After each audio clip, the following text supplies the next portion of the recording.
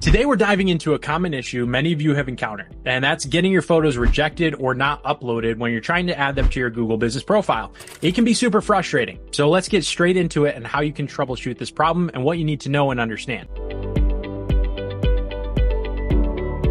So first off, if your listing is brand new, and I'm talking like less than two weeks old, you might face delays publishing images because you're so new and Google needs to build a little trust for you. So it's a little bit of waiting game. In that scenario, you might just have to wait and try again after maybe 10 or 14 days. Have you had a recent suspension or have you recently gotten your Google business profile reinstated? If that's the case, you'll also need to wait a bit longer, around like 10 or 14 days before Google's usually going to allow you to publish photos again. Now, if your image is a repeat image, so meaning it's already being used and you're trying to add it again, that could just be the case. Or if it infringes in copyright, both of those are a no-go. So your image will be rejected straight off the bat. So it could be those reasons. Now, interestingly, sometimes your image might initially show as rejected, but if you just give it 24 to 48 hours, it might just get published. So again, I know it's frustrating, but you might just need to wait a day or two to see if it's actually fully rejected. Now, here's the other thing. If you have uploaded spammy images before,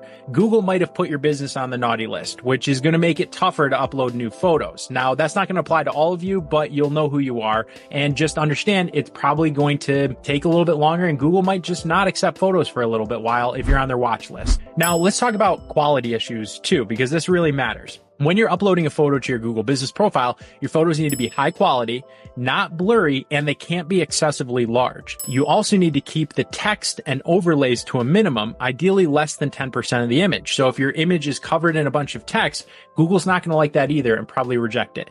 So make sure your image is under 1500 pixels in a JPEG or PNG format and preferably smaller than 500 megabytes. Now, don't forget about AI search guidelines too. So a lot of people are generating AI images now and trying to add those to their profiles. That also could be a problem. If you're unsure if your photo passes the test, I'm going to put a link in the description below where you can check by uploading your image and then just see if it passes. Okay. So that link's in the description. Now here's a pro tip. Try uploading your photo as a user instead of a business owner through Google Maps, right? So if it gets approved there, your photo is fine. And if not, there might be an issue with your profile or the photo. So that's another kind of thing that you can try to see if it works. Just sign in with a different Gmail account that's not associated with your Google business profile or have your business partner or coworker try to do it and see what happens. Now, if you tried all of these things and you're still facing issues, come back, leave a comment below and link to your photo, whether you have that photo already on Facebook or somewhere else. We'll just take a closer look and I'll see if I can help you figure out what's happening. So that's all for today. If you found this video helpful, give us a thumbs up. Don't forget to subscribe for more great Google business profile tips. And we're always helping you optimize your profile to get found and get new customers. Leave a comment below with your experience. We'll see you in the next video.